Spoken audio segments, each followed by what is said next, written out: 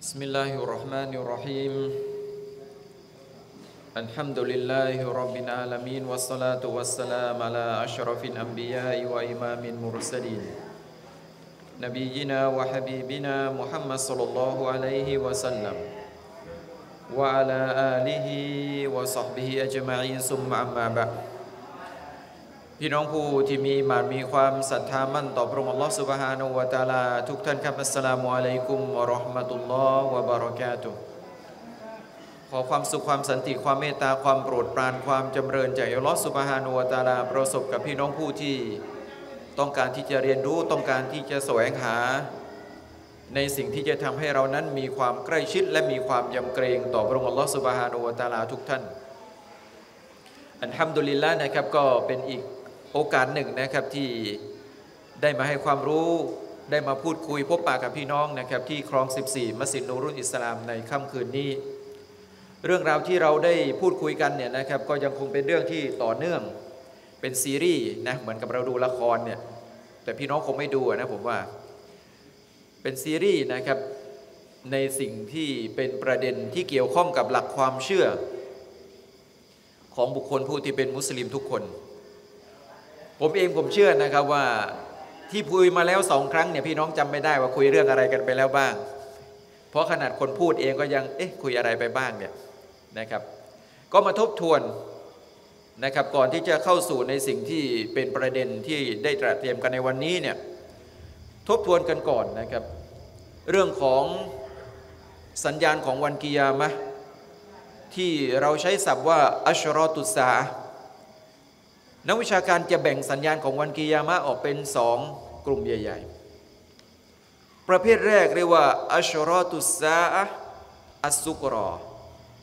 อัชรอตุสาอัสซุกรอหมายถึงอะไร หมายถึงสัญญาณเล็ก ๆ ที่พระองค์อัลลอฮฺสุบฮานูตะลาให้เกิดขึ้น ก่อนจะมาถึงสิบสัญญาณใหญ่ ซึ่งสัญญาณเล็ก ๆ ต่าง ๆ เหล่านี้เนี่ยนะครับก็จะเริ่มต้นด้วยกับการ เบียซะหรือการแต่งตั้งท่านนบีมุฮัมมัดสุลลัลฮุอะลัยฮิวะสัลลัมและก็จะเป็นสิ่งที่ดำเนินไปเรื่อยมา จนกระทั่งก่อนที่จะมาถึงในสิ่งที่เป็นคุณกลุ่มที่สองก็คืออัชรอตุสาอัลกุบรอสิ่งที่เป็นสัญญาณใหญ่สิบประการก่อนจะมาถึงวันกิยามะก็จะเริ่มต้นนะครับของสัญญาณใหญ่เหล่านั้นด้วยกับ การปรากฏตัวของดัจญาน การปรากฏตัวของดัจญาน แล้วก็ดำเนินไปอินชาอัลลอฮ์เดี๋ยวเราก็จะมาพูดคุยกัน และเรื่องของความเชื่อในสิ่งที่เป็นสัญญาณของวันกิยามันนั้นเป็นหนึ่งในหลักการศรัทธาของผู้ของบุคคลผู้ที่เป็นมุสลิมทุกคนอายะ อันกุรอานรวมถึงฮะดิษของท่านนบีมุฮัมมัดสุลลัลฮุอะลัยฮิวะสัลลัมก็ได้บอกแก่พวกเรานะครับว่าหนึ่งในหลักการศรัทธาของมุสลิมนั้นأن تؤمن باليوم الآخرก็คือการศรัทธาในการเกิดขึ้นของวันกิยามะเพราะนั้นเมื่อเราศรัทธาเราเชื่อมั่นว่าวันกิยามะจะต้องเกิดขึ้น สิ่งที่เป็นสัญญาณต่างๆ ที่พระองค์อัลลอฮฺسبحانه وتعالىได้ให้เกิดขึ้นเพื่อที่จะเป็นเครื่องหมาย จึงเป็นส่วนหนึ่งของสิ่งที่เป็นการศรัทธาต่อวันกิยามะด้วยเช่นเดียวกัน และประการต่อมาประการที่สามการที่เราจะกล่าวหรือเราจะรู้ว่าสิ่งหนึ่งสิ่งใดเป็นสัญญาณของวันกิยามะนั้น จะต้องอาศัยหลักฐานจากอันกุรอาน และด้วยกับฮะดิษ ของท่านนาบีมุฮัมมัดสุลลัลฮุอะลัยฮิวะสัลลัมเราจะใช้สติปัญญาของเราไปกล่าวในสิ่งที่มันเกิดขึ้น ในสิ่งที่มันผิดแผกในสิ่งที่มันประหลาด แล้วเราบอกว่านี่คือสัญญาณของวันกิยามไม่ไม่ได้ เราจะต้องรู้นะครับว่าสิ่งต่างๆ เหล่านี้ได้เคยถูกกล่าวเอาไว้ในอันกุรอาน หรือถูกกล่าวเอาไว้ในฮะดิษของท่านนาบีมุฮัมมัดสุลลัลฮุอะลัยฮิวะสัลลัมหรือเปล่า ประเด็นที่เราจะพูดคุยกันในวันนี้ในเครื่องหมายแรกนะครับ ไม่ใช่เครื่องหมายแรกที่เราที่เราได้เคยคุยกันไปแล้วนะครับ แต่เป็นเครื่องหมายแรกที่เราจะคุยกันในวันนี้เนี่ยในสิ่งที่เป็นสัญญาณของวันกิยามะก็คือซูฮูรุนฟิตัน การเกิดขึ้นของฟิตนะฟิตนะแปลว่าอะไรพี่น้อง แล้วบอกว่าอันนี้มันเรื่องนี้มันเป็นฟิตนะ เรื่องนั้นมันเป็นฟิตนะ ฟิตนะคืออะไร ฟิตนะเนี่ยนะครับมันมีหลากหลายความหมายที่นักวิชาการได้กล่าว ฟิตนะหมายถึงอัลอิบติละบททดสอบ ภัยพิบัติธรรมชาติ อย่างเช่นเหตุการณ์น้ำท่วมที่เกิดขึ้นทางภาคเหนือของประเทศไทย อย่างเช่นเรื่องราวของแผ่นดินไหวเรื่องราวของภัยพิบัติธรรมชาติ สิ่งต่างๆ เหล่านี้เรียกว่าอัลอิบติละ บททดสอบจากพระองค์อัลลอฮฺสุบฮานูวาตาลา มันจึงเป็นส่วนหนึ่งของฟิตนะหรืออาจจะบอกว่าอันอิคติบาร์สิ่งที่พระองค์อัลลอฮฺสุบฮานูวาตาลาให้เกิดขึ้นแก่มนุษย์ เพื่อที่จะแบ่งแยกในสิ่งที่เป็นความศรัทธาที่อยู่ในหัวใจของพวกเขา วันอิมติฮาน เหมือนกับข้อสอบนะครับ ทุกสิ่งทุกอย่างเหล่านี้เนี่ยมันถูกหมายรวมถึงในคำว่าอันฟิตนะท่านนบีมุฮัมมัดสุลลัลฮุอะลัยฮิวะสัลลัมได้กล่าวเอาไว้นะครับว่าอันนมินอัชรอติสาจากส่วนหนึ่งของสัญญาณของวันกิยามะที่เราคุยกันเนี่ยสัญญาณเล็กๆหมดเลยนะพี่น้อง อาจจะเป็นสัญญาณที่เกิดขึ้นไปแล้ว อาจจะเป็นสัญญาณที่ยังไม่เกิดขึ้น หรืออาจเป็นสัญญาณที่เกิดขึ้นแล้วและกำลังเกิดขึ้น และจะเกิดขึ้นจนกระทั่งถึงวันกิยามะว่ามินอัชรอติสาอติซุฮูรุนฟิตันอัลอาซีมะตะอัลลตียันตบิสุฟีฮาอัลฮักกุบิลบาติลหนึ่งในสิ่งที่เป็นสัญญาณของวันกิยามะก็คือจะมีสิ่งที่พระองค์อัลลอฮฺสุบฮานาอูตาลาจะประทานมาเพื่อที่จะทดสอบมนุษย์ เพื่อที่จะแบ่งแยก ระหว่างสิ่งที่เป็นความจริงและก็สัจธรรม พี่น้องเราเห็นนะครับว่า หลายๆ ครั้งที่เรามองว่ามันเป็นความสูญเสียในเรื่องของภัยพิบัติธรรมชาติ เรามองว่ามันเป็นความสูญเสียในเรื่องของแผ่นดินไหวเป็นความสูญเสียในเรื่องของน้ำท่วมนะครับในเรื่องของไฟไหม้ในเรื่องของการสูญเสีย แต่ลึกๆไปแล้วเนี่ยนะครับมันมีความดีงามที่ซ่อนอยู่ อายะกุรานอายะหนึ่งเนี่ยนะครับพระองค์อัลลอฮฺسبحانه وتعالىจึงได้กล่าวเอาไว้ในอันกุรอาน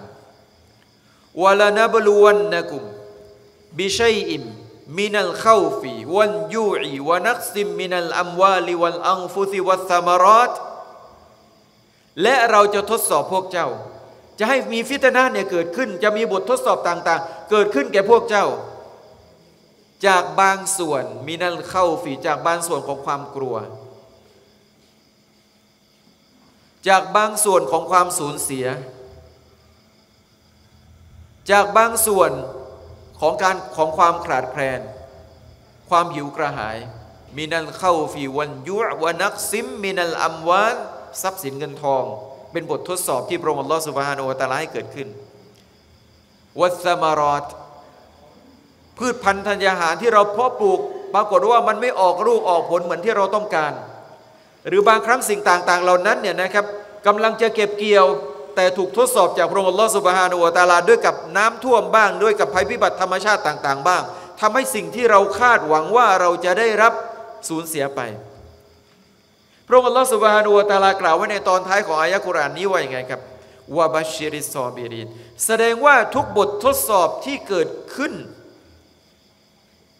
ซึ่งเป็นหนึ่งในสัญญาณของวันกิยามานั้น มันมีความดีงามที่พระองค์อัลลอฮฺสุบฮานุวตาลา จะเตรียมไว้สำหรับบุคคลผู้ที่ศรัทธา ถ้าเขามีความอดทนในบททดสอบต่าง ๆ เหล่านั้น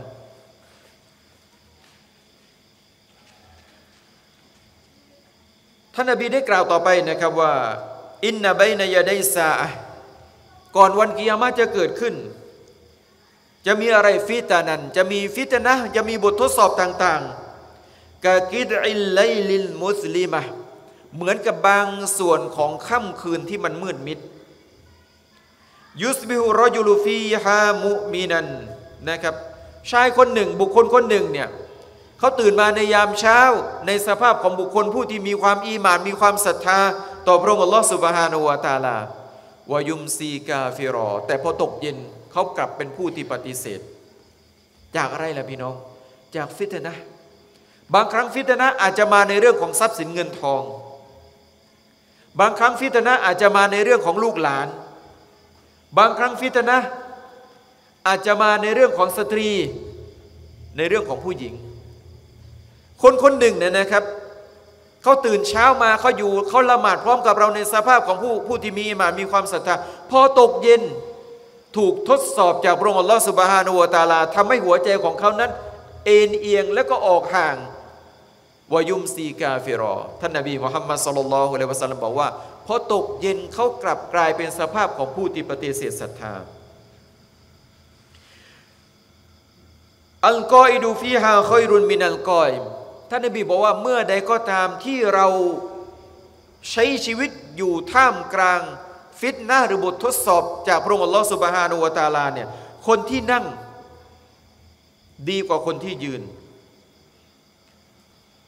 วันกออิมูฟีฮาคอยรุนมินัลมาชี คนที่อยู่เฉยๆเนี่ยนะครับกับบททดสอบดีกว่าคนที่เดินไปหา วันมาชีฟีฮาคอยรุนมินัสซาคนที่เดินไปหา คนที่ประสบกับบททดสอบดีกว่าคนที่แสวงหา บางคนหมายความว่าไงหมายหมายความว่าบางคนเนี่ยนะครับ คิดว่าเขาเนี่ยเป็นคนที่มีอีหมานที่มั่นคง คิดว่าเขาเป็นคนที่มีความ ศรัทธาที่แน่นแฟ้นต่อพระองค์อัลลอฮฺสุบฮานอัลตาเพราะนั้นมาเลยบททดสอบไม่ได้นะครับพี่น้อง สิ่งที่ท่านนาบีมุฮัมมัดสุลลัลฮุอะลัยวะสัลลัมสอนให้เราขอ ขอให้เราพ้นจากสิ่งที่เป็นบททดสอบ หรืออย่าได้ประสบกับบททดสอบที่หนักหน่วง จากพระองค์อัลลอฮฺสุบฮานอูตาลาท่านอุมัรอินุนคอตอบรอเดียลลอฮุอันฮูจึงได้กล่าวเอาไว้นะครับว่า เวลาที่ฉันประสบกับบททดสอบใด ๆ จากพระองค์ลอสุบฮานาอูตาลา นอกจากความอดทนที่เกิดขึ้น ในหัวใจของฉันแล้วเนี่ยสิ่งที่ฉันขอก็คือขอบคุณต่อพระองค์ลอสุบฮานุวตาลาในสามประการอัลลอฮฺอักบารถูกทดสอบต่ออัลลอฮ์แน่นอนหน้าที่ของเราฟาบัชชิริซอบรีนพระองค์ลอสุบฮานุวตาลาก็จงอดทน จงแจ้งข่าวดีแก่บรรดาผู้ที่มีความอดทน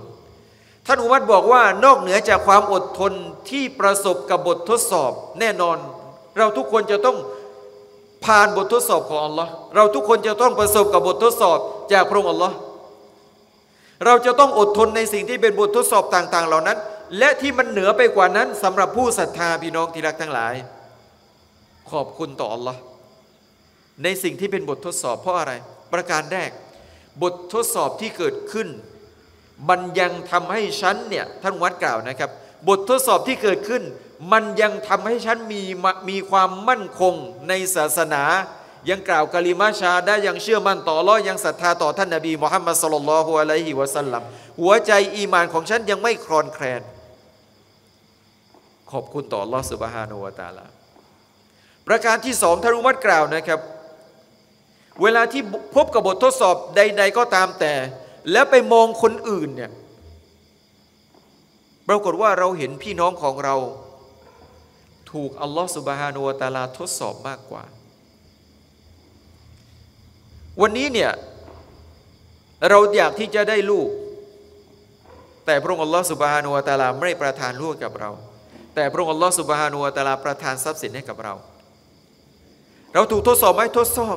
เราอยากได้ลูกอะ่ะแต่อัลลอฮ์ไม่ให้ แต่อัลลอฮ์ให้อย่างอื่น แต่พอเราไปดูอีกคนหนึ่งที่เรารู้จักอัลลอฮ์ให้ลูกกับเขาอย่างมากมายอัลลอฮ์ให้ทรัพย์สินเงินทองกับเขา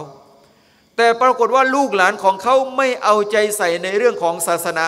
สร้างปัญหาให้เกิดขึ้นกับคนที่เป็นพ่อแม่อยู่ตลอดเวลา จนกระทั่งคนที่เป็นพ่อแม่เนี่ยนะครับ แทบ แทบที่จะทิ้งละหมาดเนื่องจากปัญหาต่างๆ ที่มันเกิดขึ้นกับลูก บททดสอบเหล่านี้เนี่ยพี่น้อง ท่านอุมัตบอกว่าให้เราขอบคุณต่อพระองค์ลอสุบานุวาตาเพราะคนอื่นถูกทดสอบมากกว่า อย่างน้อยๆเนี่ยนะครับ เวลาที่เราประสบบททดสอบ นึกถึงใครพี่น้อง นึกถึงท่านนบีมุฮัมมัดสุลลัลฮุอะลัยฮิวะสัลลัมของเรา ยังไม่ทันคลอดออกมาจากครันของแม่เลย จากครันของมารดาท่านหญิงอามีนาเลย เป็นเด็กกำพร้าอายุได้สี่ขวบ แม่เสียชีวิต ท่านหญิงอามีนะ อายุที่หกขวบ ปู อับดุลมุตตลิบซึ่งคอยดูแลเสียชีวิต หลังจากนั้นไปอยู่กับผู้ที่เป็นลุงก็คือท่านอบูตอเลบไม่ได้อยู่อย่างสุขสบายด้วยนะ อยู่อย่างลำบาก เพราะอบูตอเลบเนี่ยเป็นคนที่ยากจนมีลูกมาก จนกระทั่งท่านนาบีมุฮัมมัดสุลลัลฮุอะลัยวะสัลลัมของเราเนี่ยนะครับ จะต้องเลี้ยงแพะเลี้ยงแกะเพื่อที่จะได้ค่าจ้างมาช่วยเหลือลุง ในความเป็นอยู่ และหลังจากที่ได้รับการแต่งตั้งเป็นนบีตลอดระยะเวลา 23 ปีนะครับชีวิตของท่านนาบีมุฮัมมัดสุลลัลฮุอะลัยวะสัลลัมของเราไม่ได้สุขสบาย นี่คือบททดสอบที่ยิ่งใหญ่ที่เราเห็น เวลาที่เราเห็นเนี่ยนะครับเวลาที่เราเรียนรู้ชีวประวัติของท่านนาบี อันฮัมดุลิลละอัลลอฮ์ทดสอบเราแค่นี้ไปดูนบีของอัลลอฮ์สุบฮานุวาตาละถูกทดสอบมากกว่าเรา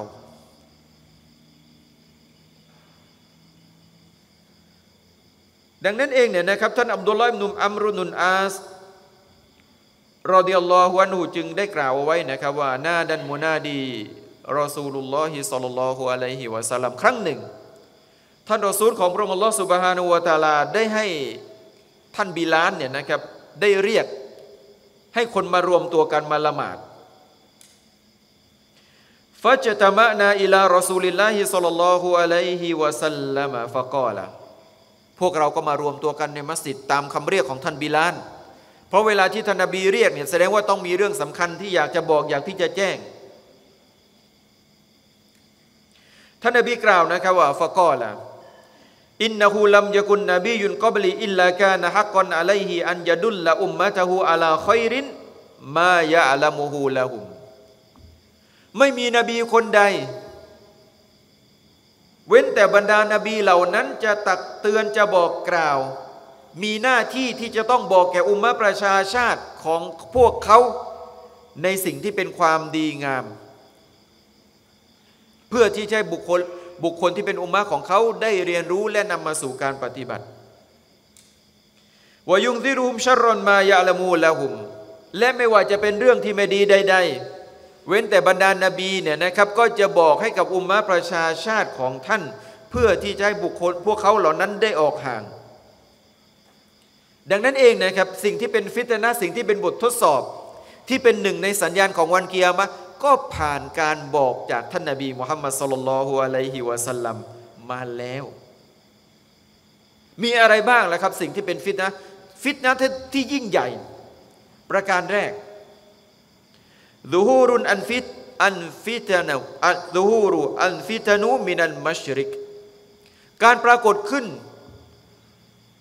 ของบททดสอบของความวุ่นวาย ของสิ่งที่เลวร้ายจากทางทิศตะวันออก ความหมายของทางทิศตะวันออกก็คือทางทิศตะวันออกของเมืองมาดีนะในฮะดิษของท่านอับดุลลาห์อิบนุอุมัรรอดิยัลลอฮุอันฮุมาได้กล่าวนะครับว่าอันนหูสมีอัลรอซูลุลลอฮิศ็อลลัลลอฮุอะลัยฮิวะสัลลัมท่านอับดุลลาห์อิบนุอุมัรได้กล่าวว่า ฉันได้ยินท่านนบีมุฮัมมัดศ็อลลัลลอฮุอะลัยฮิวะสัลลัมขณะที่ท่านหันไปทางทิศตะวันออกคำว่าทิศตะวันออกนี้คือทิศตะวันออกของเมืองมาดีนะ บรรดานักวิชาการได้กล่าวนะครับว่าทิศตะวันออกของเมืองมาดินนะก็คือบริเวณที่เป็นที่ตั้งของอาณาจักรเปอร์เซีย ในยุคสมัยนั้น พวกเปอร์เซียนะครับปัจจุบันก็ประเทศอิหร่าน ประเทศอิรัก และประเทศที่อยู่ทางตะวันออกของเมืองมาดีนะอย่างเช่น โซเวียตรัสเซียประเทศจีน ท่านนบีบอกว่าไง อาลาอินนันฟิตนะจะฮาฮูนาให้มินให้สู่เยอะละอุกรนุชัยตอน แท้จริงบรรดาฟิตนะต่างๆ จะมีจุดกำเนิดมาจากทางทิศตะวันออกเหล่านั้น ยังซึ่งเป็นสถานที่ที่ดวงอาทิตย์ขึ้นระหว่างสองเขาของชัยตอน เราจึงเห็นนะครับว่า สิ่งที่เป็นแนวคิดต่างๆ ที่นอกรีศาสนาอิสลามเนี่ยเกิดขึ้นทางทิศตะวันออก อย่างเช่นพวกคาวาริจอย่างเช่นพวกชีอะอัรรอฟิตชีอะอิหมัมสิบสองก็อยู่ทางทิศนั้น อย่างเช่นในยุคปัจจุบันเนี่ยนะครับ แนวความเชื่อ แบบคอมมิวนิสต์ก็มาจากทิศตะวันออกกอตยานีก็อยู่ทางทิศตะวันออก ทิศตะวันออกของเมืองมดีนะ กลุ่มชนกลุ่มชนหนึ่ง ซึ่งยกกองทัพเข้ามาทำลายเมืองแบกแดดอาณาจักรอับบาซียะก็คือพวกพวกมองโกล ก็มาทางทิศตะวันออก และทางทิศตะวันออกนะครับจนกระทั่งถึงปัจจุบันก็เป็นแผ่นดินเป็นพื้นที่ที่สร้างฟิตนะอย่างมากมายให้เกิดขึ้นบนหน้าโลกใบนี้ เพราะนั้นนี่คือสิ่งที่ท่านนบีมุฮัมมัดสุลลัลฮุอะลัยฮิวะสัลลัมได้กล่าวเอาไว้ ประการต่อมาในสิ่งที่เป็นฟิตนะสัญญาณของวันกิยามะคือการลอบสังหารท่านอุสมานอิบนูอัฟฟาน رضي الله عنهหลังจากการเสียชีวิตของท่านนบีมุฮัมมัดصلى الله عليه وسلمบุคคลผู้ที่ขึ้นครองตำแหน่งคอลีฟะก็คือท่านอบูบักอัสซิดดีกท่านครองตำแหน่งอยู่ประมาณสองปีกับสองปีกับสามเดือน และท่านก็เสียชีวิต หลังจากนั้นท่านอุมัรอินุนคอตอบรอดิยัลลอฮุอันฮุก็ขึ้นมาครองตำแหน่ง ท่านครองตำแหน่งอยู่ประมาณสิบปีกว่า ท่านฮุไซฟารอดิยัลลอฮุอันฮุได้กล่าวนะครับ ว่าครั้งหนึ่งท่านอุมัรได้มาหาท่านแล้วก็กล่าวนะครับ ว่าไอยุกุมยะฟาตุกกาลารอซูลิลลาฮิสัลลัลลอฮุอะลัยฮิวะสัลลัมมีใครบ้างในหมู่ของพวกท่าน ที่ได้จดจำคำกล่าวของท่านรอซูลصلى الله عليه وسلم في الفتنةในเรื่องของฟิตนะในเรื่องของบททดสอบในเรื่องของความวุ่นวายต่าง ๆ ที่จะเกิดขึ้น ท่านฮุไซฟะเนี่ยนะครับ ได้รับสมญานามว่าเป็นسر رسول اللهเป็นบุคคลผู้ที่ซึ่งท่านนาบีจะบอก ในสิ่งที่เป็นเรื่องราวลับลับที่ท่านนบีไม่ได้บอกแก่บรรดาซอฮาบะคนอื่น แต่ไม่ได้หมายความว่าสิ่งที่เป็นความลับอยู่ที่ท่านฮูไซฟ้าเพียงแค่คนเดียวไม่ใช่ เพียงแต่ว่าท่านฮูไซฟ้าเป็นบุคคลพิเศษที่ท่านนบีเนี่ยจะบอกแม้แต่ชื่อของคนที่เป็นมูนาฟิกในยุคสมัยของท่าน ท่านอุวัตมหาท่าน ฮูไซฟ้าและกล่าวแก่ท่านฮูไซฟ้านะครับว่า มีใครบ้างที่เคยจดจำในสิ่งที่ท่านนบีกล่าวถึงเรื่องของฟิตนะท่านท่านฮุไซฟาได้กล่าวนะครับว่าأنا أحفظهฉันฉันจำได้ ท่านนบีบอกกับฉันท่านอุมัรบอกว่าบอกฉันหน่อยสิว่า สิ่งที่ท่านนบีบอกเนี่ยมีอะไรบ้าง ท่านฮุไซฟาได้กล่าวนะครับว่าقال رسول الله صلى الله عليه وسلمท่านรอซูลของพระองค์อัลลอฮฺسبحانه وتعالىได้กล่าวว่า فتنة الرجل في أهله وماله وجارهฟิตนาที่จะเกิดขึ้น ในหมู่ของพวกท่าน ที่เกี่ยวข้องกับครอบครัว เกี่ยวข้องกับทรัพย์สินเกี่ยวข้องกับเพื่อนบ้าน ลูกของเราเป็นฟิตนาพี่น้อง ถ้าเราไม่เลี้ยงดูถ้าถ้าเราไม่อบรม ให้เขามีความรู้มีความเข้าใจในศาสนาของพระองค์ลอสุบฮานุวตาลาทรัพย์สินต่างๆ ที่พระองค์ลอสุบฮานุวตาลาประทานให้เป็นฟิตนะพี่น้อง ถ้าเราไม่รู้จักที่จะใช้ทรัพย์สินเหล่านี้ ไปหนทางที่ศาสนาได้วางกรอบเอาไว้ วิชาความรู้ที่เรามีเป็นฟิตนะพี่น้อง ถ้าความรู้เหล่านี้เราไม่นำไปสู่การปฏิบัติ ทุกสิ่งทุกอย่างที่พระองค์อัลลอฮฺสุบานุวตาลาประทานให้กับเรา นั่นคือฟิตนะ นั่นคือบททดสอบท่านอุไซฟาได้กล่าวนะครับว่าท่านนบีได้กล่าวว่า ฟิตนะของคนคนหนึ่ง ที่มีอยู่ในบ้านของเขาในครอบครัวของเขาที่มีอยู่ในทรัพย์สินของเขาที่มีอยู่กับคนรอบข้างที่เป็นเพื่อนบ้านของเขาเนี่ยตุกัฟฟิรุฮาอัสซาลาติวัสซดะกวัลอัมรุบินมารูวันนะยูอานินมุงกัร สิ่งที่จะมาคอยป้องกันไม่ให้ฟิตนะต่าง ๆ เหล่านี้เกิดขึ้น ท่านนบีบอกว่าให้ดำรงการละหมาด เพราะการละหมาดจะเป็นสิ่งที่จะมาป้องกัน การละหมาดจะเป็นสิ่งที่ทำให้หัวใจของเรานั้น ใกล้ชิดกับพระองค์อัลลอฮฺสุบฮานุวาตาลา การละหมาดจะเป็นสิ่งที่จะเป็นเหมือนกับฟุตกร แบ่งแยกระหว่างความจริงกับสิ่งที่เป็นความเท็จวัสดกเครื่องที่จะป้องกันฟิตนะที่จะเกิดขึ้นในบ้านของเรา ทรัพย์สินของเราเพื่อนบ้านของเรา ประการแรกท่านได้บอกว่าเรื่องของการละหมาด ประการที่สองเรื่องของการสดก็เรื่องของการบริจาค เพราะการบริจาคจะเป็นสิ่งที่จะขจัดความรู้สึกตรีนีทีเหนียวที่เกิดขึ้นในหัวใจของพวกเรา ท่านอบีได้กล่าวไว้ในดิบทหนึ่งนะครับว่า การบริจาคที่ดีที่สุด ก็คือการบริจาคขณะที่ท่านซอฮีฮุนชาฮีฮุนที่ท่านมีสุขภาพที่ดี ที่ท่านมีความหวงแหนในทรัพย์สินนั่นคือเวลาที่บริจาคจะเป็นสิ่งที่ดีที่สุด เพราะอะไร เพราะคนส่วนใหญ่เนี่ยจะบริจาคเวลาที่เจ็บป่วย เวลาที่เจ็บป่วยก็จะบริจาคเพราะอะไร เพราะหวังว่าการบริจาคจะส่งผลทำให้อาการเจ็บป่วยของเขาเนี่ยมันดีขึ้น ถูกต้องไหมก็ไม่ได้ผิด เพียงแต่ว่าท่านนบีบอกว่า เวลาที่ดีสุดในการบริจาคคือเวลาที่เรามีสุขภาพดี เวลาที่เรายังมีความหวงแหนในทรัพย์สิน วันอัมรุบินมารูบวันนะยูอานินมุงกัดประการต่อมา สิ่งที่จะเป็นเครื่องป้องกันฟิตนะ หรือช่วยที่จะทำให้เราเนี่ยให้ฟิตนะที่เกิดขึ้นมันเบาบางมันผ่อนคลายสำหรับเราเนี่ยอัลอัมรุบินมารูฟวันนะยูอานินมุงกะคือการสั่งใช้ในเรื่องของความดี แล้วถามว่าเราจะรู้ได้อย่างไรว่าสิ่งที่เรากำลังจะสั่งใช้คนอื่นเนี่ยมันเป็นเรื่องที่ดี มันก็ต้องอาศัยในเรื่องของการเรียนรู้ จะต้องอาศัยในเรื่องของการศึกษา และทุกวันนี้นะฮัมดุลิลละพี่น้องที่รักทั้งหลาย การเรียนรู้การศึกษาไม่ได้ถูกจำกัด เพียงแค่การมารวมตัวกันในลักษณะดังอย่างที่เราอยู่เนี่ยแม้ว่าลักษณะการเรียนรู้แบบนี้จะเป็นลักษณะการเรียนรู้ที่มีบริการมากกว่า มีความจำเริญมากกว่า เพราะนี่คือแนวทางของบรรดาอัมบียะบรรดานาบี บรรดาผู้รู้ตั้งแต่ยุคสมัยอดีตจนกระทั่งถึงปัจจุบัน แต่การเรียนรู้ในยุคสมัยปัจจุบันเราสามารถเรียนรู้ได้ แม้แต่เรานั่งอยู่ที่บ้านของเรา แม้แต่เราอยู่ในที่ทำงานของเรา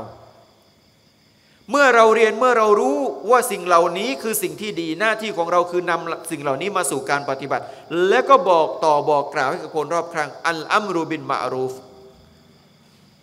เราเห็นคนในบ้านของเรา เราเห็นคนในครอบครัวของเรา เราเห็นคนในชุมชนของเรา ยังกระทำในสิ่งที่ไม่ถูกต้อง ด้วยกับความรู้ที่เราได้เรียนรู้หน้าที่ของเราคือการอัลอัมรูบินมารูฟสั่งใช้บอกต่อ แนะนำในสิ่งที่เป็นเรื่องราวของความดี วันนะยูอานินมุงกัด และก็ห้ามปรามในสิ่งที่เป็นความชั่ว พระองค์อัลลอฮฺสุบฮานูวาตาลาจึงได้กล่าว ถึงคุณลักษณะของเหล่าบรรดาซอฮาบะและอุมมะประชาชาติของท่านนาบีมุฮัมมัดสุลลัลฮุอะลัยวะสัลลัมเอาไว้ในอายะกุรอาน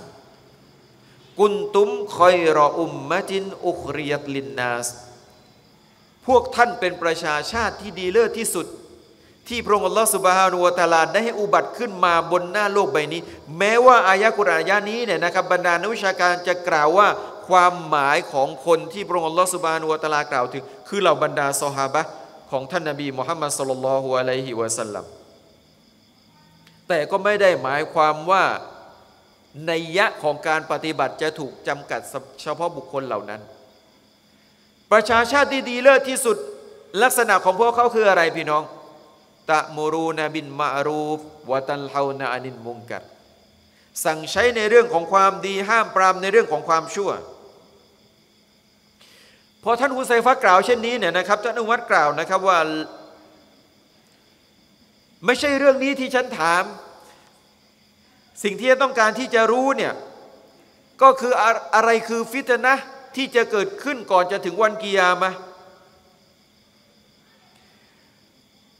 ท่านฮุไซฟะกล่าวนะครับว่ายาอามีรอนมุมินีน โอผู้ที่เป็นผู้นำของศรัทธาชน ลาบะซาไลกะมินหา ท่านไม่ต้องกลัว อุมัตเนี่ยไม่ต้องกลัวฟิตนาเลย เพราะท่านนบีบอกว่าถ้าอุมัตเดินไปทางไหนชัยตอนจะเดินไปอีกทาง เพราะนั้นอุมัตไม่ต้องกลัวฟิตนะอุมัตเนี่ยเป็นบุคคลผู้ที่ซึ่งสามารถที่จะแบ่งแยกระหว่างความจริงกับสิ่งที่จะเป็นความเท็จได้ อุมัตบอกอุมัตบอกว่าฮุไซฟาบอกว่าอุมัตไม่ต้องกลัวเลยฟิตนะจะรู้ไปทำไมอินนาใบนะกะวะใบนะฮาบาบันมุกลากอ เพราะระหว่างท่านกับฟิตนะที่จะมาถาโถมแก่อุมะประชาชาติของท่านนบีมุฮัมมัดสุลลัลฮุอะลัยวะสัลลัมเนี่ยมันมีประตูที่ขวางอยู่ มันมีประตูที่ขวางอยู่หมายความว่า หมายความว่าตราบใดก็ตามที่อุมัรยังมีชีวิตอยู่ ฟิตนะต่างๆ มันจะไม่เข้ามาสู่อุมมะประชาชาติ หรืออาณาจักรอิสลามในยุคสมัยนั้น อุมัรถามนะครับว่า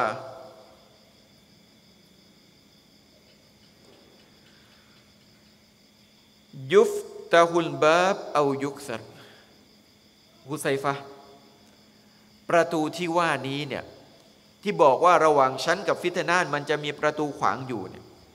ประตูที่ว่านี้มันจะถูกเปิดออกมา หรือมันจะถูกพังอุไซฟะบอกว่าบันยุกสัตประตูจะไม่ถูกเปิด ประตูจะถูกพัง หมายความว่าไง หมายความว่าหลังจากการเสียชีวิตของท่านอุมัตอินุนคอตตอบ มันจะมีเรื่องราวต่างๆ บททดสอบต่างๆ ความวุ่นวายต่างๆ ที่จะเกิดขึ้นแก่อุมัตประชาชาติอิสลาม และสิ่งเหล่านั้นมันจะไม่ถูกปิดอีกเป็นอันขาดเพราะมันถูกพังไปแล้ว หลังจากการเสียชีวิตของท่านอุมัตท่านอุสมานอิบนุอัฟฟานขึ้นมาครองตำแหน่งคอลีฟะ และในยุคสมัยที่ท่านครองตำแหน่งคอลิฟะอาณาจักรอิสลามสามารถที่จะแพร่กระจายไปยังที่ต่างได้อย่างมากมายจนกระทั่งอาณาจักรเปอร์เซียอาณาจักรโรมัน อยู่ภายใต้การปกครองของมุสลิม แต่ขนาดเดียวกันมีกลุ่มชนผู้ที่ซึ่ง มีความเชื่อที่ผิดเพี้ยนจากทางทิศตะวันออก เข้ามารอบสังหารท่านอุสมานอิบนูอัฟฟานรอเดิยัลลอฮุอันฮุ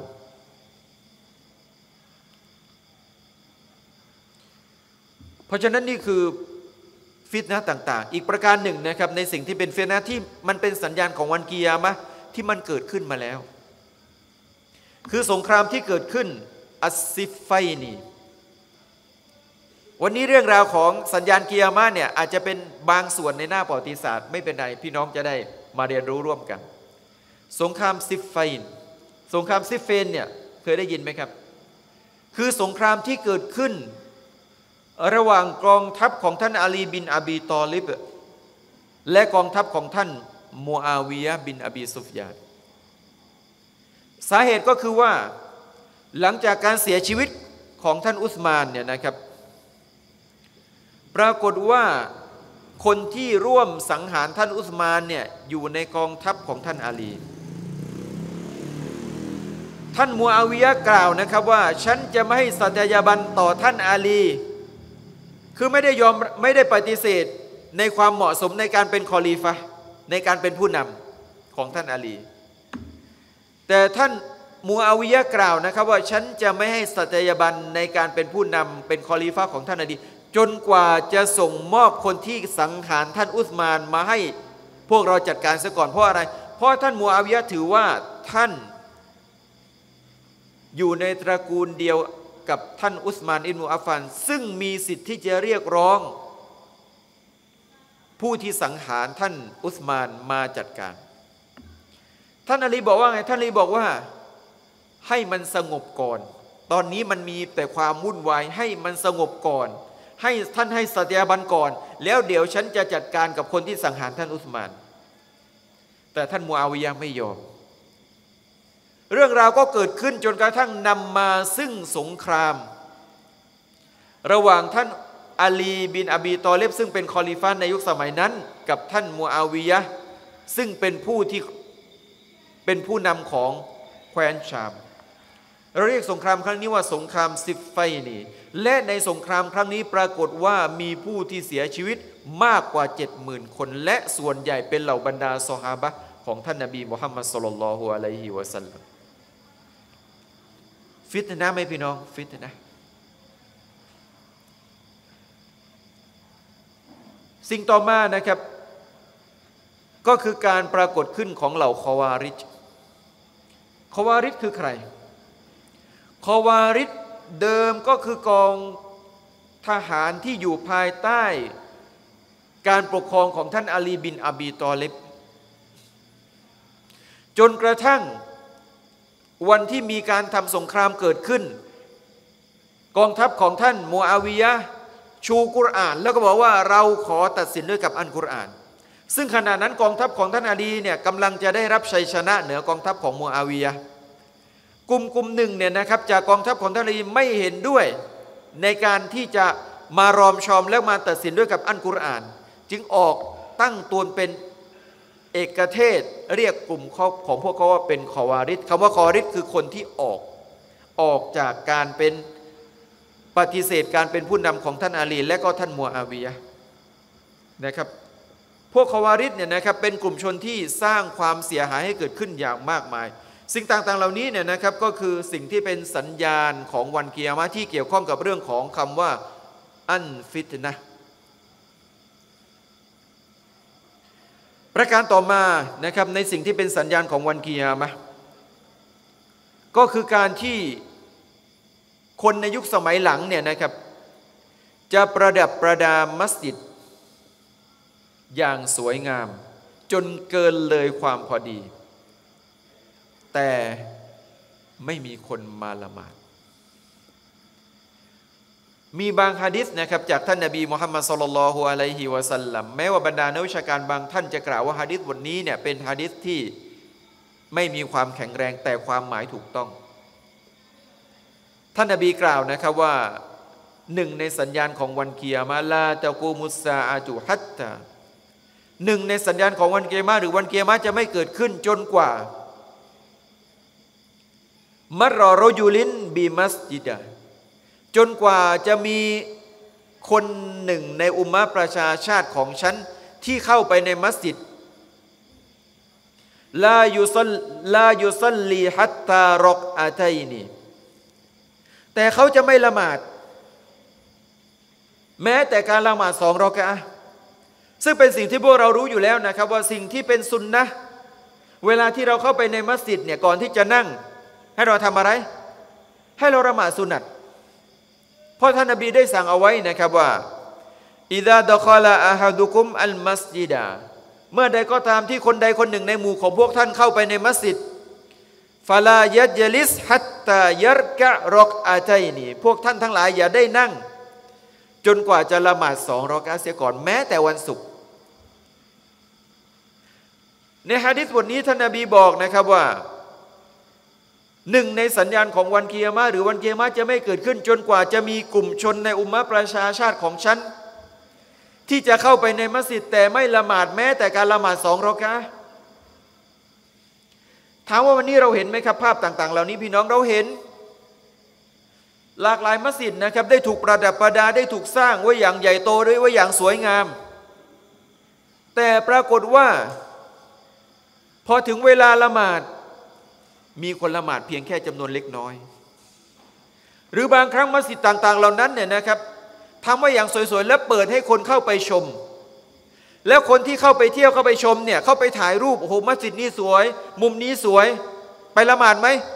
ไม่ได้ไปละหมาด ทั้งที่พระองค์อัลลอฮฺสุบฮานะฮูวาตาลากล่าวให้ความสำคัญของมัสยิดว่าเป็นบ้านของพระองค์ ทั้งที่พระองค์อัลลอฮฺสุบฮานาอูตาลาได้กล่าวไว้ในคุรานนะครับว่ายาบันีอาดามะคุดูซีนักตะกุมอินดะกุลลิมัสยิดิน โอ้ลูกหลานของนบีอาดัมทั้งหลาย พวกท่านทั้งหลายจงประดับประดาตัวของเรือนร่างของพวกท่านให้สวยงามเนี่ยในทุกๆการละหมาด นั่นก็หมายถึงว่าตรงนี้ศาสนาอิสลามไม่ได้ห้าม ในการที่เราจะสร้างมัสยิดให้มันใหญ่ให้มันสวย เพื่อที่จะเหมาะสมกับจำนวนของผู้ที่มาใช้ในการละหมาด เราอย่าสร้างมัสยิดให้มันใหญ่เพียงแค่ที่จะรองรับการละหมาดอีด เราอย่าสร้างมัสยิดให้มันสวยเพียงแค่เพื่อเป็นการประดับประดาเพื่อเป็นเป็นการโอ้อวดเพราะสิ่งต่างๆ เหล่านี้ อายะกุรอานในนี้พระองค์ได้กล่าวต่อไปนะครับว่าวากูลูวะชรบูวะลาตุสริฟูพี่น้องเห็นไหมครับ ตอนต้นของอายะพระองค์อัลลอฮ์พูดถึงเรื่องของการแต่งตัวในการเข้าไปสู่มัสยิด เป็นการให้เกียรติกับมัสยิด ต่อมาพระองค์ได้กล่าวนะครับว่าวากูลูวชรบูพวกท่านจงกินพวกท่านจงดื่มวลาตุสริฟูแต่อย่าได้สุรุ่ยสุร่ายในการกินการดื่มในเรื่องของมัสยิดด้วยเช่นเดียวกัน อินนาฮูลายุฮิบุนมุสริฟีนเพราะพระองค์อัลลอฮฺสุบฮานุวะตาลาไม่ทรงรัก บรรดาบุคคลผู้ที่สุรุ่ยสุร่าย ท่านนบีมุฮัมมัดสุลลัลฮุอะลัยฮิวะสัลลัมจึงได้กล่าวเอาไว้นะครับในสิ่งที่เป็นสัญญาณของวันกิยามะลาตะกุมุสซาอะตุฮัตตายะตะบาฮาอันนาสูฟินมาซาจิดวันกิยามะจะไม่เกิดขึ้นจนกว่า อุมมะประชาชาติของฉัน จะมีการแข่งขันประดับประดากันในการสร้างมัสยิด ทุกวันนี้สิ่งที่เราเห็น คนที่ไม่ใช่มุสลิม หรือคนที่เป็นมุสลิมก็ตามเนี่ยนะครับ แข่งอะไรกันรู้ไหมพี่น้อง แข่งกันสร้างว่าตึกของใครจะสูงกว่า แข่งกันสร้างว่าตึกของใครจะสูงกว่ากัน ตอนนี้ตึกที่สูงเป็นอันดับหนึ่งของโลกอยู่ที่ไหน อยู่ที่ประเทศสหรัฐอาหรับอิมิเรตอยู่ที่เมืองดูไบแล้วก็มีโครงการนะครับในประเทศจีน ในประเทศซาอุดิอาระเบียเนี่ยที่เมืองยิดดะจะสร้างตึกให้มันสูงกว่าบุรคอลีฟะที่เมืองดูไบถามว่าสิ่งต่างๆ เหล่านี้เนี่ยมันเป็นอะไรเพราะนี่คือสัญญาณของวันกิยามะทั้งหมดเป็นเรื่องของการประกวดประขันเป็นเรื่องของการโอ้อวดซึ่งกันและกัน เพราะนั้นแม้แต่มัสยิดบ้านของพระองค์อัลลอฮฺสุบฮานุวะตาลานะครับ เป็นสถานที่ที่เราใช้ในการปฏิบัติอิบาดะ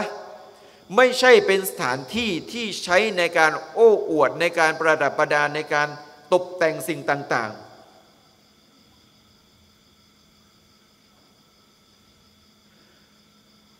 ท่านอนัสได้กล่าวนะครับในความหมายที่ท่านนบีได้พูดในฮะดิษท่านอนัสได้กล่าวนะครับว่ายาตาบาเฮานบีฮา หนึ่งในสัญญาณของวันเกิยามะคือ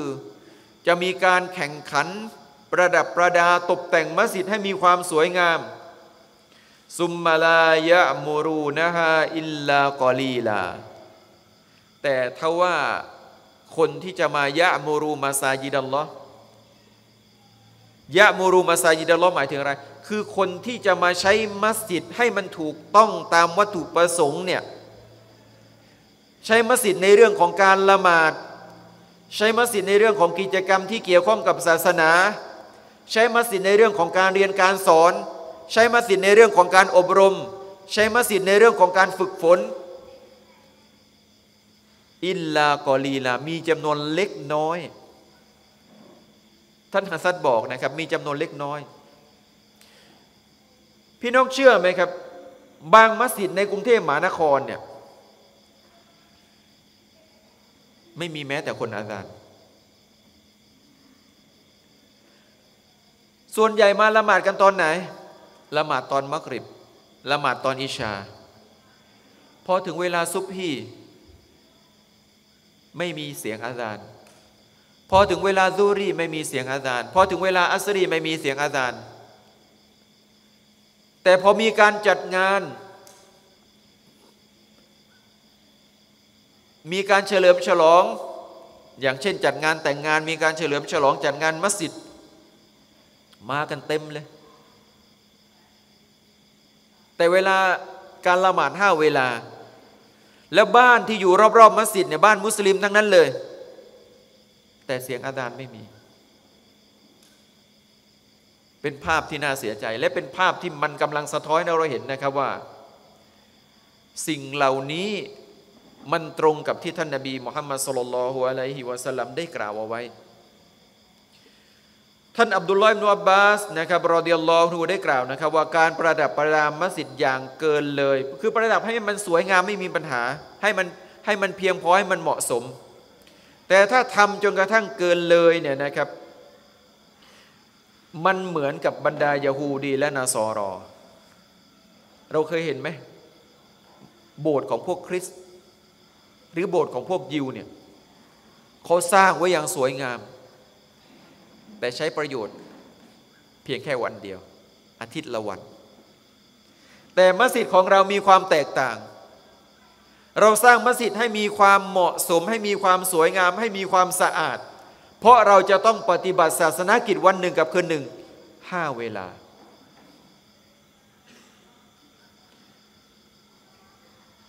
เพราะฉะนั้นวันนี้พี่น้องที่รักทั้งหลาย เราต้องพูดกันให้เยอะๆนะครับในเรื่องของความสำคัญของมัสยิด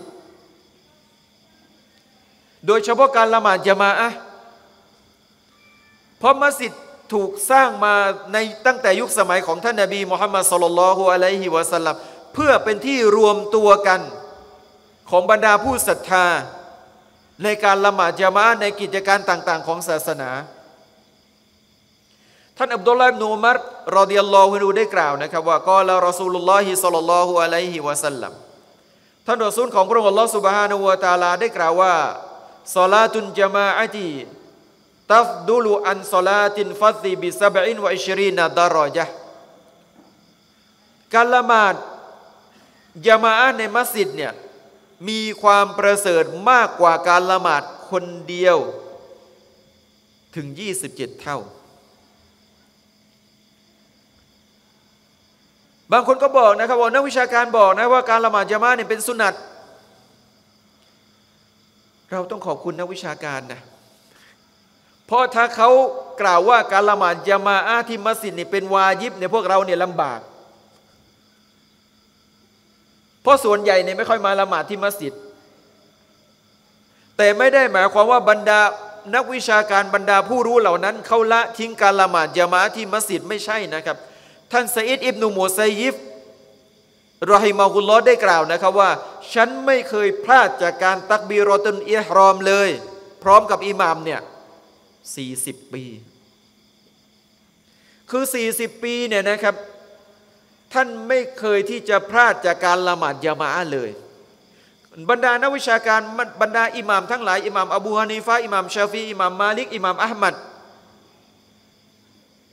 แม้ว่าบรรดาอุลามะบรรดาผู้รู้เหล่านั้นจะบอกนะครับในทัศนะส่วนใหญ่ว่าการละหมาดยามานั้นเป็นเป็นสุนัตเป็นสุนนะมุอักกะดะแต่บุคคลเหล่านั้นไม่เคยที่จะละทิ้งในการละหมาดยามาที่มัสยิด เพราะเพียงแค่ฮะดิษของท่านนาบีมุฮัมมัดสุลลัลฮุอะลัยวะสัลลัมที่บอกถึงความประเสริฐ ของการละหมาดยามาที่มัสยิดเนี่ยมันก็เพียงพอแล้วที่จะให้เราเนี่ยนะครับขวนขวาย ในการที่จะได้รับในภาคผลต่างๆเหล่านั้น เพราะเมื่อใดก็ตามนะครับที่มัสยิดมันถูกสร้างมาอย่างสวยงาม และไม่มีผู้ที่ละหมาดนั่นคือสัญญาณของวันกิยามะท่านอุสมานอูอัฟฟานرضي اللهได้กล่าวนะครับว่าقال رسول الله صلى الله عليه وسلم ท่านรอซูลของพระองค์อัลลอฮ์سبحانه وتعالىได้กล่าวว่าمن صلى العشاء في جماعة ย้ายเสียงนี้เนี่ยนะครับไปถึงพี่น้องมุสลิมที่อยู่รอบๆมัสยิด คือพวกเราเนี่ยผมเชื่อว่ามาละหมาดกันอยู่แล้ว ใครก็ตามที่ละหมาดอิชา พร้อมกับยามาอะฟากอันนามากอมานิสฟุลนิสฟัลไลลีเท่ากับเขาละหมาด ในวันในคืนนั้นครึ่งคืน ใครมาละหมาดอิชาที่มัสยิดเท่ากับเขาได้รับผลบุญจากพระองค์อัลลอฮฺสุบฮานุวะตาลาเหมือนกับการละหมาดครึ่งคืนว่ามันซัลลัสุบฮาฟีจามาอาจินฟะกะอันนามาซัลลัลไลละกุลละหูและใครก็ตามที่มาละหมาดซุบฮีพร้อมกับยามาที่มัสยิด เขาจะได้รับผลบุญจากพระองค์อัลลอฮฺสุบฮานุวะตาลาเหมือนกับการละหมาดทั้งคืน อีกฮะดิษหนึ่งได้กล่าวนะครับว่ายาตาอากบูนาฟีกุมมาลาอิกาตุนบินไลลีวะมาลาอิกาตุบินนาฮารท่านนบีบอกนะครับว่า พระองค์อัลลอฮฺสุบานุวะตาลาจะส่งมาลายกะมาคอยที่จะดูแลพวกเรา รวมถึงมาคอยบันทึกความดีต่างๆ ที่เราได้กระทำบันทึกความชั่วที่เราได้ประพฤติ และจะมีการสับเปลี่ยนเวียนสับเปลี่ยนเวรกันนะครับ ในตอนละหมาดซุบฮีและก็ละหมาดอัสรีมาเลกาจะมาสับเปลี่ยนกัน พอถึงเวลาซุบฮีมาเลกาที่อยู่กับเราตั้งแต่หลังละหมาดอัสหลังละหมาดอัสรี จนกระทั่งถึงเวลาซุบฮีเนี่ยก็จะไปทำหน้าที่อื่น แล้วก็จะมีมาลากาอีกท่านหนึ่งนะครับ จะมาทำหน้าที่แทนจนกระทั่งถึงเวลาของการละหมาดอัสรีวะยะจตามีอูนฟีซอลาตินฟัจรีวะซอลาตินอัสรีสองเวลานี้นี่สำคัญ และก็แปลก เป็นสองเวลาที่หลากหลายมัสยิดเนี่ยมีคนละหมาดน้อย คือเวลาของละหมาดซุบฮีกับเวลาของการละหมาดอัสรีจนกระทั่งผู้รู้บางคนได้กล่าวนะครับว่า ถ้าต้องการที่จะดูว่าในสังคมใดเนี่ยอีมานของคนในสังคมนั้นเป็นแบบไหนให้ไปดูตอนละหมาดซุฮีกับตอนละหมาดอัสรีถ้ามีคนมาละหมาดในมัสยิดน้อย แสดงว่าอิหมัมไม่ค่อยทำหน้าที่ ซุมมายะอรุยุลลดีบาตูฟีกุมวยัสอาลูฮุมรบบุฮุม เวลาที่มาเลกามาสับเปลี่ยนกันเนี่ยนะครับมาเลกาที่หมดเวรหมดเวรในกะนั้นเนี่ยก็จะขึ้นไป ก็จะไปหาก็จะไปหาพระองค์อัลลอฮฺสุบฮานาอูตาลา และอัลลอฮ์ถามนะพี่น้อง ฟายัสอาลูฮุมรบบุฮุมพระองค์อัลลอฮ์พระผู้อวยบานของพวกเขาคือพระองค์อัลลอฮ์สุบานาอูตาลาก็จะถามมาอะไรกะวะฮัวอัลลามูบิฮิมทั้งที่พระองค์ก็รู้อยู่แล้ว แต่พระองค์อัลลอฮฺสุบานุวะตาลาต้องการที่จะถามมาลยกะเพื่อที่จะให้มาลยกะเป็นประจักษ์พยานกับพวกเราไกฟาตรอกตุมอีบาดี มาลยกะจะพระองค์อัลลอฮ์จะถามมาลยกะนะครับว่า ท่าน หรือเจ้าทิ้งบ่าวของฉันมาในสภาพไหน พี่น้องลองดูนะ ถ้ามาเลกาสับเปลี่ยนเวรกันขณะที่เรากำลังไปมัสยิดเพื่อที่จะละหมาด มาเลกาจะตอบกับอัลลอฮ์ว่าไงتركناهم وهم يصلونเราได้จากเขามาในสภาพที่เขากำลังละหมาด وأتيناهم وهم يصلونเราได้มาหาเขาเพื่อที่จะรับเวรต่อในสภาพที่เขากำลังละหมาด แต่ในทางตรงกันข้ามพี่น้องที่รักทั้งหลายมาเลกาเปลี่ยนเวรกันตอนละหมาดซุบฮีเรายังนอนอยู่ยังที่นอนของเรา โดนชัยตอนฉี่ใส่หูไม่ตื่น มาเลกาจะตอบกับพระองค์อัลลอฮฺสุบฮานุวะตาลาว่าไงตารอกนาหูวะฮัวนาอิมูนฉันจากเขามาเนี่ยมันยังนอนหลับอยู่เลย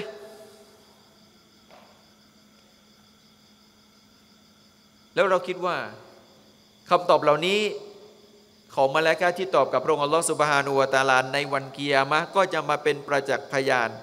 ก็จะมาเป็นสิ่งที่ฟ้องร้องกับพวกเรา หน้าที่พระองค์อัลลอฮฺสุบฮานูวาตาลาวันนี้พูดให้เยอะหน่อยในเรื่องของการละหมาด โดยเฉพาะการละหมาดจะมาอะเพราะเราพูดถึงสัญญาณของวันกียามะพูดถึงเรื่องของมัสยิดหนึ่งในความประเสริฐของการละหมาดจามาที่มัสยิดพี่น้อง ท่านนบีได้กล่าวนะครับว่ามันตะวัดดออาลิสซอลาใครก็ตามแต่ ที่เขาได้อาบน้ำละหมาด เพื่อที่จะไปละหมาดฟาอัสบากลบูดูและอาบน้ำละหมาดอย่างสวยงามอย่างถูกต้อง ไม่ใช่อาบแบบโลกลวกอาบอย่างสวยงาม อาบอย่างถูกต้องตามสุนนะของท่านนาบีมุฮัมมัดสุลลัลฮุอะลัยฮิวะสัลลัมอวัยวะต่าง ๆ เนี่ย ไม่มีช่องว่างไม่มีบริเวณที่ไม่ได้โดนน้ำละหมาด เพราะอะไร เพราะท่านนาบีกล่าวนะครับว่า ฉันจะรู้จักอุมมะประชาชาติของฉันพวกเราเนี่ยซอบ้าไม่ต้องพูดถึงท่านนาบีรู้จักอยู่แล้ว แต่ท่านนาบีจะรู้จักพวกเราเนี่ยนะครับ ในวันเกียร์มาด้วยกับอะไรพี่น้อง ด้วยกับบีอาซารินมูดู ด้วยกับร่องรอยของการอาบน้ำละหมาด เพราะนั้นใครก็ตามที่อาบน้ำละหมาดอย่างถูกต้องอย่างสมบูรณ์ ในวันเกียรมาท่านนบีก็จะรู้จัก และการละหมาดของเขาก็จะเป็นที่ตอบรับจากพระองค์อัลลอฮฺสุบฮานุวาตาลาเพราะถ้าเราปล่อยนะครับอาบน้ำแบบละหมาดแบบลวกๆจนกระทั่ง เอาบางอวัยวะเนี่ยนะครับ ไม่สัมผัสน้ำเนี่ยละหมาดใช้ไม่ได้เลยนะท่าน ท่านบิลานรอดิยัลลอฮุอันฮุได้เคยถูกถามจากท่านนบีมุฮัมมัดสุลลัลลอฮุอะลัยฮิวะสัลลัมท่านนบีถามนะครับว่ายาบิลานโอ้บิลานเอ๋ยฉันได้ยินเสียงเท้าของท่านเดินในสวงสวรรค์ ดูนะท่านนบีของเราเนี่ยแม้แต่เสียงเท้าของซอฮาบะของท่านเนี่ยท่านจำได้ โอ้บิลาน ฉันได้ยินเสียงเดินของท่าน บนในสวงสวรรค์ อยากจะรู้เหลือเกินว่าท่านทำอะไร ที่เป็นสาเหตุที่พระองค์อัลลอฮฺสุบฮานุวตาลา ให้ท่านได้เป็นชาวสวรรค์ ที่นอกเหนือจากสิ่งที่เป็นฟัรดู เป็นความจำเป็นสำหรับบุคคลผู้ที่เป็นมุสลิมทุกคน ละหมาดถ้าเวลาไม่ต้องไปถามบิลันท่านละหมาดอยู่แล้ว ถือสิรดเดือมอดอนท่านถือสิรดอยู่แล้ว สุนัตต่างๆ แน่นอนอยู่แล้ว แต่ท่านนบีอยากรู้ว่าอะไรคือสาเหตุ ที่ทำให้ท่านบิลานได้รับรางวัลการตอบแทนจากพระองค์อัลลอฮฺสุบฮานุวะตาลาด้วยกับสวงสวรรค์ ท่านบิลานกล่าวว่าไงรู้ไหมพี่น้องทำง่ายๆ พี่น้องอยากเป็นชาวสวรรค์เนี่ยทำเหมือนท่านบิลานทำท่านบิลานท่านบิลานบอกนะครับว่า ฉันไม่รู้ว่ามีการงานอะไรที่ฉันทำเป็นพิเศษนอกจาก ทุกครั้งที่ฉันอาบน้ำละหมาด ฉันจะละหมาดสองรอกะเพื่อพระองค์อัลลอฮฺสุบฮานุวะตาลาแสดงว่าการละหมาดเนี่ยนะครับเป็นสิ่งที่สำคัญการอาบน้ำละหมาดก็ถือว่าเป็นสิ่งที่สำคัญ มันตวัดดอาลิสซอลาติฟาอัสบากวูดูอะใครก็ตามที่อาบน้ำละหมาด เพื่อที่จะละหมาดโดยการอาบน้ำละหมาดที่สมบูรณ์ ซุมมามาชาอิลัสซอลาติลมักตูบตีและก็เดินไปมัสยิดเพื่อที่จะละหมาดจามาอะฟาซอลลาฮามาอันนัสและเขาก็ได้ละหมาดพร้อมกับบรรดาพี่น้องของเขากอฟารัลลอฮูกอฟารัลลอฮูละฮูดุนูบะฮูสิ่งที่เขาจะได้รับคือการอภัยโทษ จากพระองค์อัลลอฮฺสุบฮานาอูตาลาในสิ่งที่เป็นบาปและก็ความผิดของเขา ท่านอับดุลลอฮ์อิบนุมัสอูดรอดิยัลลอฮุนูได้กล่าวนะครับว่า มันซัรหูอันยันกอลลอฮะกอดันมุสลิมา ใครก็ตามที่มีความปรารถนา ที่จะไปพบกับพระองค์อัลลอฮฺสุบฮานูวาตาลา หลังจาก ในวันกิยามะในสภาพของผู้ศรัทธาใครก็ตามที่ต้องการที่จะไปพบกับพระองค์อัลลอฮฺسبحانه وتعالىในวันกิยามะในสภาพของผู้ศรัทธา ในสภาพของมุสลิม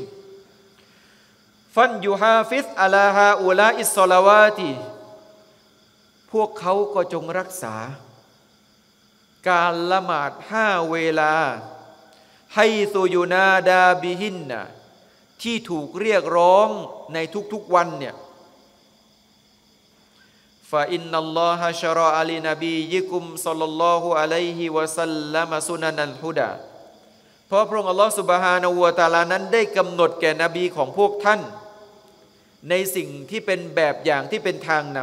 ำว่าอินนะฮุนนามินซุนานินฮุดาและการละหมาดห้าเวลากับการละหมาดห้าเวลาในมัสยิด เป็นส่วนหนึ่งของแบบอย่างที่เป็นทางนำว่าเราอันนะกุมซอลไลตุมฟีบูยูที่กุม หากแม้ว่าพวกท่านทั้งหลาย ละหมาดห้าเวลาที่บ้านของพวกท่านกามายุซอลลีฮาดาอันมุตะคอลลิฟูฟีไบติฮีเหมือนดังเช่น บุคคลที่เขาละทิ้งการละหมาดยามะพี่น้องในยุคสมัยของท่านนาบี ในยุคสมัยของเราบรรดาซอบ้านเนี่ย คนที่ทิ้งการละหมาดยามะมีกลุ่มเดียวนะพี่น้อง คือมูนาฟิก คือคนหน้าไหว้หลังหลอก แต่บรรดาซอฮาบะของท่านนาบีเนี่ยนะครับพอถึงเวลาของการละหมาดจามะพวกเขาเหล่านั้นจะไปละหมาดที่มัสยิด ถ้าหากว่าพวกท่านทั้งหลายทิ้งการละหมาดจามะเหมือนที่พวกมูนาฟิกทิ้งเนี่ย لتركتم سنن سنة نبيكمพวกท่านทั้งหลายกำลังละทิ้งในสิ่งที่เป็นแบบอย่างของนบีของพวกท่านولو تركتم سنة نبيكم لضللتم ท่านอับดุลลอฮ์ อิบนุมัสอูดได้กล่าวนะครับว่าหากแม้ว่าพวกท่านทิ้งสุนนะของท่านนบีในเรื่องดังกล่าวนี้ พวกท่านก็จะหลงทาง ท่านอับดุลลอฮ์อิบนุมัสอุดไม่ได้พูดถึงคนที่ทิ้งละหมาดนะครับ ในคำพูดนี้เนี่ยแต่ท่านพูดถึงคนที่ทิ้งการละหมาดจะมาเพราะคนที่ทิ้งละหมาดเนี่ยนะครับ ในมุมมองของเหล่าบรรดาซอบ้านเนี่ยไม่ได้ต่างจากผู้ที่ปฏิเสธศรัทธาต่อพระองค์อัลลอฮฺสุบฮานาอูตาลาพูดง่ายก็ไม่ได้ต่างจากกาเฟร แต่คำกล่าวนี้ของท่านอับดุลลอฮ์มุมาซูดเนี่ยพูดถึงเรื่องของคนที่ทิ้งละหมาดจะมาอะบอกนะครับว่าคนที่ทิ้งละหมาดจะมาอะเนี่ยเหมือนกับผู้ที่ทิ้งแนวทางของท่านนาบีมุฮัมมัดสุลลัลฮุอะลัยฮิวะสัลลัมและจะเป็นผู้ที่หลงทาง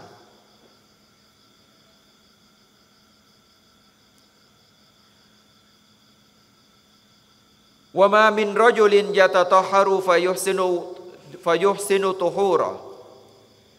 ชายคนหนึ่งบุคคลคนหนึ่งเนี่ยได้อาบน้ำละหมาด และอาบน้ำละหมาดอย่างสวยงาม ซุมมายามิดูอิลันมัสยิดมินฮาดิฮินมัสยิดหลังจากนั้นเขาก็เดินไปละหมาดที่มัสยิดอิลลากะตบัลลอฮุละหูบิกุลลิคุตวะตินยัคตูฮาฮัสนะเว้นแต่พระองค์อัลลอฮฺสุบฮานุวะตาลาจะให้แต่ละก้าวที่เขาเดินไปมัสยิดเนี่ยนะครับ เป็นคุณงามความดี วายรฟาอูฮูบิฮาดารอยะและแต่ละก้าวที่พระองค์อัลลอฮฺสุบะที่เดินไปยังมัสยิดพระองค์อัลลอฮฺสุบานุวะตาลาจะยกสถานะของเขาวายฮุตุอันฮูบิฮาอัสไซยีอะและแต่ละก้าวพระองค์อัลลอฮฺสุบานุวะตาลาจะลบในสิ่งที่เป็นบาปในสิ่งที่เป็นความผิดوقد رأيتنا وما يتخلف عنها إلا منافق معلوم النفاق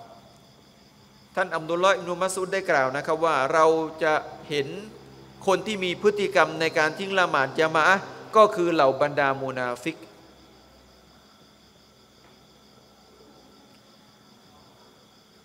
เพราะฉะนั้นหนึ่งในสัญญาณของวันเกียร์มะนะครับ ก็คือมีมัสยิดอย่างมากมายมีมัสยิดที่สวยงาม แต่ขาดคนที่ไปละหมาดที่มัสยิด เพราะนั้นวันนี้เนี่ยนะครับในแต่ละสังคมเป็นสิ่งที่จะเป็นสิ่งที่ต้องตรวจสอบ ว่าคำเตือนของท่านนบีมุฮัมมัดสุลลัลฮุอะลัยฮิวะสัลลัมเนี่ยอยู่ในสังคมเราหรือเปล่า อยู่ในบ้านเมืองเราหรือเปล่า ที่รับบริจาคที่ร่วมบริจาคในการสร้างมัสยิดอย่างสวยงาม ถามพี่น้องนะครับ เวลาพี่น้องต้องการที่จะบริจาคเงินให้ในการสร้างมัสยิดเนี่ยพี่น้องอยากที่จะบริจาคให้มัสยิดมันใหญ่มันสวยและไม่มีคนละหมาด หรือพี่น้องอยากที่จะบริจาคสร้างมัสยิดและมัสยิดเหล่านั้นเต็มไปด้วยกับคนที่มาละหมาด พี่น้องอยากได้อย่างที่สองเพราะอะไร เพราะทุกครั้งที่มีผู้ที่มาละหมาดในมัสยิดที่พี่น้องได้บริจาค ผลละบุญของการละหมาดเหล่านั้นก็จะไปถึงพี่น้อง แต่ถ้าพี่น้องบริจาคให้กับมัสยิด ที่มีแต่ตัวอาคาร ไม่มีคนมาละหมาด พี่น้องจะได้รับแค่ผลบุญของการสร้างมัสยิดไม่ได้รับผลบุญความดีของผู้ที่มาละหมาด มาดูประการต่อมานะครับในสิ่งที่เป็นสัญญาณของวันเกียร์มาซูฮูรุมุดดาอีอันนบูวะอัดดัดยาลีนอันกัดาบีนคือมีการปรากฏขึ้น ของผู้ที่กล่าวอ้างตัวว่าเป็นนบี คนที่กล่าวอ้างว่าเป็นนบีเนี่ยนะครับ พี่น้องรู้ไหมเกิดขึ้นตั้งแต่ยุคสมัยของท่านนบีมุฮัมมัดสุลลัลฮุอะลัยฮิวะสัลลัมบุคคลคนหนึ่งชื่อว่าอัสวัดอันอันซี อยู่ในเมืองเยเมน ประเทศเยเมน ในยุคสมัยนบีกล่าวอ้างว่าเป็นนบี จะขอมีส่วนร่วมขอมีส่วนแบ่ง ในชัยชนะที่กองทัพของอิสลามได้รับ ท่านนบีกล่าวนะครับว่าลาตะกูมุสซาอตุฮัตตายุบอาซาดัจจาลูนกัซาบุนกอรีบุนมินซาลาซีนะกุลลุฮุมยัซอุมูอันนะฮูรอซูลุลลอฮ์วันเกียรมาจะไม่เกิดขึ้น จนกว่าจะมีบุคคลผู้ที่กล่าวอ้าง เป็นคนที่เป็นจอมโกหกจำนวน 30 คนที่พวกเขาเหล่านั้นกล่าวอ้างว่า พวกเขาเป็นรอซูลของพระองค์อัลลอฮฺสุบฮานุวะตาลาแต่จริง ๆ แล้วเนี่ยนะครับคนที่กล่าวอ้างว่าเป็นนบีเนี่ยมากกว่า 30 จนกระทั่งถึงยุคสมัยปัจจุบันก็ยังมีนะครับ ผมจำได้ สมัยที่ผมเรียนมาดีนาเนี่ยมีฮุดยัดคนหนึ่ง เขาบอกว่า เขาได้รับวะฮีจากพระองค์อัลลอฮฺสุบฮานุวตาลา มาทำฮัจไปสอบถามเขาคนคนนี้เขาบอกว่า ต้นไม้ที่เขาปลูกเนี่ยออกลูกออกผลนอกฤดูกาลและทำให้คนเนี่ยนะครับ เชื่อว่าคนคนนี้เนี่ยมีความพิเศษ แล้วเขาก็กล่าวอ้างต่อมานะครับ ว่าเขาเนี่ย เป็นนบีของพระองค์อัลลอฮฺสุบฮานุวะตาลาพวกนี้พี่น้องให้เรารู้เลยว่าอาศัยอาศัยชัยตอน พวกนี้อยู่กับชัยตอนอยู่กับยิน พวกหมอหมอทั้งหลายเนี่ยนะครับพวกหมอผีหมอพวกหมอปลาทั้งหลายเนี่ยอยู่กับยินอยู่กับชัยตอนทั้งหมดแหละกล่าวว่ามาเป็นนบี ช่วงที่ประกอบพิธีฮัจญ์หลังจากทำฮัจญ์เสร็จแล้วเนี่ยนะครับก็นั่งคุยกัน ก็พยายามที่จะบอกพยายามที่จะเตือนเขาบอกว่า ขอตัวก่อนไม่อยากจะคุย อัลลอฮ์ไว้สั่งมาให้ไปรับวะฮีที่กาบะคนเวลาชัยตอนมันหลอกล่อเนี่ยมันก็เป็นแบบเนี้ยแต่ถามว่าเราเชื่อไหม เราไม่เชื่อ เพราะอะไร เพราะอวฮีของพระองค์ลลอสุบานุวตาลาถูกตัดขาด ตั้งแต่การเสียชีวิตของท่านนบีมุฮัมมัดสุลลัลฮุอะลัยฮิวะสัลลัมในยุคสมัยของท่านนบีนะครับ มีอัสวัดอันอันซีเนี่ยกล่าวอ้างว่าเป็นนบี และก็ถูกฆ่านะถูกซอบาคนหนึ่งก็คือท่านไฟรูสอันไดลามีเนี่ยนะครับสังหาร หลังจากการเสียชีวิตของท่านนบีก็มีอีกที่บอกว่า 30 คนคือ 30 คนที่มีผู้ที่เชื่อแล้วก็ปฏิบัติตาม ว้นยามามาชื่อว่ามูไซลามะอันกัดดาบกล่าวอ้างว่าเป็นนบี และมีคนที่เชื่อและปฏิบัติตามมูไซลามะอันกัดดาบเป็นจำนวนมาก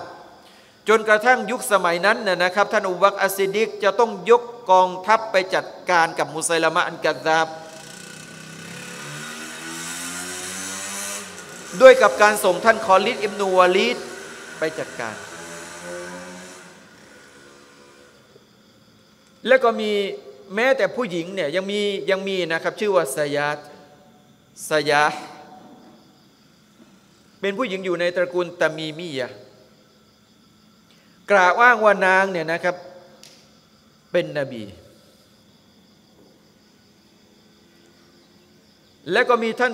ตัวเลฮาบินควยลิดอันอัสดี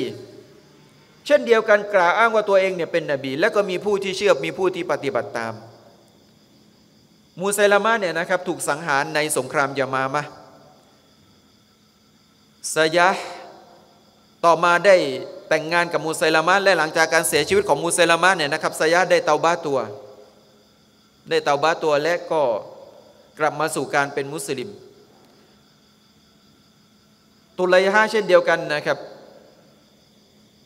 หลังจากที่กล่าวว่าเป็นนบีได้ไม่นานเนี่ยนะครับ ก็เตาบ้าตัวแล้วก็กลับมา เป็นมุสลิมอีกครั้งหนึ่ง จนกระทั่งถึงยุคสมัยร่วมสมัยปัจจุบันเนี่ยก็มีนะครับ ในประเทศอินเดีย พี่น้องเคยได้ยินกลุ่มกอตยานีไหมพวกกอตยานี ผู้นำของกลุ่มกอดยานีคือมิรซากุลามอัลมัดกล่าวอ้างว่าเขาเนี่ยเป็นนบี และก็มีคนที่เชื่อ แปลกไหม มีคนที่เชื่อ มีมุสลิมจำนวนมากที่เชื่อ ทั้งที่มันเป็นสิ่งที่ขัด กับคำสอนของพระองค์อัลลอฮฺสุบฮานุวะตาลาและขัดกับสิ่งที่เป็นฮะดิษของท่านนบีมุฮัมมัดสุลลัลลอฮุอะลัยฮิวะสัลลัมคืออยากจะบอกกับพี่น้องนะครับว่า สิ่งเหล่านี้เนี่ยนะครับมันเป็นมันเป็นสัจธรรม บางครั้งสิ่งที่มันเป็นสิ่งที่ไม่ถูกต้อง แต่เราเห็นคนในสังคมปฏิบัติ จะไม่ว่าจะมีการสอนการให้ความรู้นะครับในสิ่งที่ถูกต้องเพื่อที่จะมาหักล้างในการกระทำเหล่านั้นเนี่ยถามว่าสิ่งต่างๆเหล่านั้นหายไปเลยไหมก็ยังไม่หายไป ยังมีอยู่ มีคนที่เชื่อมีคนที่ปฏิบัติ เป็นสิ่งที่พระองค์อัลลอฮฺสุบฮานูวตาลา ต้องการที่จะให้ ความจริงกับความเท็จเนี่ยนะครับ มันต่อสู้กัน ให้เราได้เห็น เพราะนั้นหนึ่งในสัญญาณของวันกิยามะอีกประประการหนึ่งนะครับ ก็คือการมีผู้ที่กล่าวอ้างว่าเป็นนบี อีกประการหนึ่งนะครับของสัญญาณของวันกิยามะเนี่ยท่านนบีมุฮัมมัดصلى الله عليه وسلمได้กล่าวนะครับ ก็คือการปรากฏขึ้นของบรรดาสตรี كاسيات عارياتสตรีที่สวมใส่เสื้อผ้า แต่เปลือยกาย ท่านอบูไรรอرضي الله عنهได้กล่าวนะครับ ว่าقال رسول الله صلى الله عليه وسلمท่านรอซูลของพระองค์อัลลอฮฺสุบฮานุวะตาลาได้กล่าวว่า ซินฟานีมินอัลลินนาร ลัมอารอฮุมา จะมีคนสองกลุ่ม ซึ่งเป็นชาวนรก พวกท่านทั้งหลายจะไม่เห็นในยุคสมัยนี้ ท่านนบีบอกว่าจะเป็นสิ่งจะเป็นกลุ่มที่จะปรากฏขึ้นในยุคสมัยหลัง กลุ่มแรก เก้ามุนมาฮุมซียาตุนกะอันาบินบักร กลุ่มแรกก็คือคนที่ถือแส้นะครับ ที่เหมือนหางของวัวเนี่ยยะดริบูนบีฮาอันนาสกลุ่มเหล่านี้เนี่ยก็จะใช้แส้ที่มีอยู่ที่มือของเขาเนี่ยนะครับในการทุบตีในการทำร้าย เพื่อนมนุษย์ด้วยกัน คนที่มีพฤติกรรมแบบนี้ท่านนบีบอกว่าเป็นชาวนรก กลุ่มที่สอง วานิซาอุนกาซิยาตุนอาริยาตมูมีลาตินมาอิลาตรูอูซุฮุนนะกะอัสเมียนตินบุคตินมาอิละกาซิยัสตรี ที่สวมใส่เสื้อผ้า แต่อยู่ในสภาพของเปลือยกาย คือเสื้อผ้าของนางเนี่ยนะครับ สวมใส่แต่เป็นเสื้อผ้าที่รัดรูป จนกระทั่งเห็น รูปร่างของนางเหมือนกับนางไม่ได้สวมใส่เสื้อผ้า หรือเสื้อผ้าของนางนะครับ เป็นเสื้อผ้าที่บาง จนกระทั่งเห็นสีผิวของนางเหมือนกับนางไม่ได้สวมใส่เสื้อผ้า สตรีที่มีคุณลักษณะมีการแต่งกายในแบบนี้เนี่ยนะครับ ท่านนาบีบอกว่าจะไม่ได้รับกลิ่นไอของสวรรค์ มูมีลาตินมาอิลาต และผมของนางเนี่ยนะครับ จะชูขึ้นกาอัสมินาตินบุกเหมือนกับตระโหนกของอูด ก็คือจะทำผมแล้วก็ตั้งจนกระทั่งสูงลายัดคุลลายัดคุลันนันจันนะวลายาจินยาจิตนารีฮะฮากลุ่มชนเหล่านี้พวกนางเนี่ยนะครับจะไม่ได้รับจะไม่ได้เข้าสวรรค์ ถ้าไม่ได้ถ้าไม่ได้เตาบะวลาวลายาจิตรีฮาฮาจะไม่ได้รับกลิ่นไอของสวงสวรรค์ว่าอินนารียฮาลายูยดูมินมาซีรติกาดาวะกาดาและกลิ่นไอของสวรรค์นั้น ผู้ศรัทธาจะได้กลิ่นเป็นระยะทางเท่านั้นเท่านี้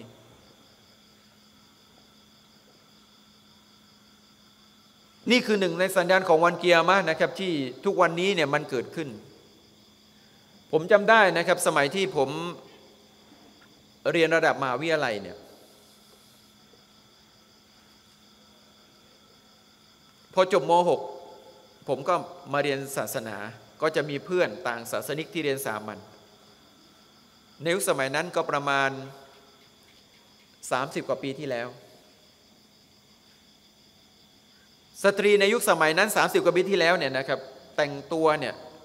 กระโปรงก็จะเป็นกระโปรงที่ยาวเสื้อก็จะเป็นเสื้อ อาจจะแขนสั้นบ้างหรือแขนยาวบ้าง แต่จะเป็นเสื้อที่ค่อนข้างที่จะโพรกคือปกปิดเรือนร่างของนาง เมื่อ 30 ปีที่แล้ว พี่น้องดูในปัจจุบัน เห็นนักเรียนนักศึกษาแต่งตัวไหมใส่กระโปรงสั้น ใส่เสื้อตัวเล็ก ๆ ที่มันรัด แสดงว่าสิ่งที่ท่านนบีมุฮัมมัดสุลลัลฮุอะลัยฮิวะสัลลัมบอกเอาไว้เนี่ยมันกำลังเกิดขึ้นในยุคสมัยของพวกเรา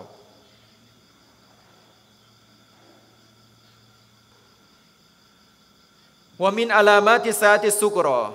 ต่อมานะครับในสิ่งที่เป็นสัญญาณเล็กๆ ของสัญญาณของวันกิยามะก็คือ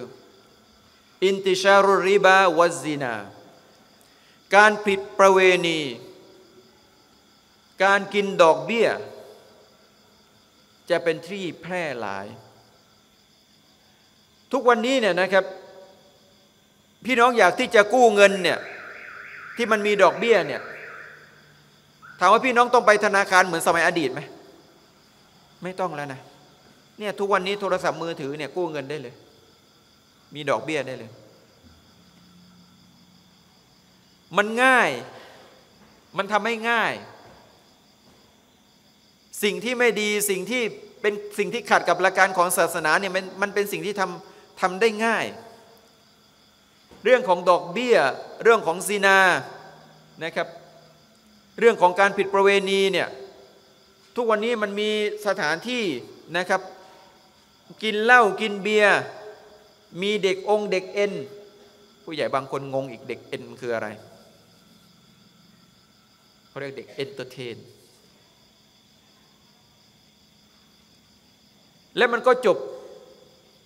ในเรื่องของซีนาเรื่องของการผิดประเวณีจนกระทั่งสังคมเนี่ยนะครับมองเรื่องของซีนาเนี่ยเป็นเรื่องปกติธรรมดา เพราะอะไร เพราะคนที่เป็นดาราคนที่มีชื่อเสียง เขาอยู่กันโดยที่ไม่ต้องนิก้าไม่ต้องแต่งงาน ถามว่าซีนาไหมซีนา แล้วก็อยู่กันลักษณะแบบนั้นแหละละครับ อย่างมากมายจนกระทั่งคนในสังคมมองว่าเรื่องของซีนาเนี่ยเป็นเรื่องปกติ ลูกหลานของเราเนี่ยต้องระวังให้มาก ๆ โดยเฉพาะบรรดานักเรียนนักศึกษา ในระดับมหาวิทยาลัย ที่ไปเรียนต่างบ้านต่างเมืองนะครับไปเรียนต่างจังหวัด หรือแม้แต่เรียนในกรุงเทพ เองก็ตามแต่ไม่ได้อยู่ที่บ้านนะครับไปอยู่ที่หอเนี่ยเราในฐานะของคนที่เป็นผู้ปกครองจะต้องสอดส่องดูแล อย่าให้สิ่งต่างๆ เหล่านี้เนี่ยมันเข้ามาในครอบครัวในสังคมของพวกเรา เพราะนั่นคือสัญญาณของวันกียามะที่ท่านนาบีมุฮัมมัดสุลลัลฮุอะลัยฮิวะสัลลัมได้กล่าวนะครับว่าใบนายาดัสาก่อนที่จะถึงวันกียามะนั้นยุนฮิรุริบา เรื่องของริบาเนี่ยจะเป็นที่แพร่หลายวายุทฮิรุซินา เรื่องของซินาเรื่องของการผิดประเวณีเนี่ยก็จะเป็นสิ่งที่แพร่หลาย และยังมีอีกหลายอย่างหลายประการนะครับนี่เรายังไม่ไปถึงสัญญาณใหญ่นะยังมีอีกหลายอย่างหลายประการที่เป็นสัญญาณเล็ก ๆ ของวันกิยามะ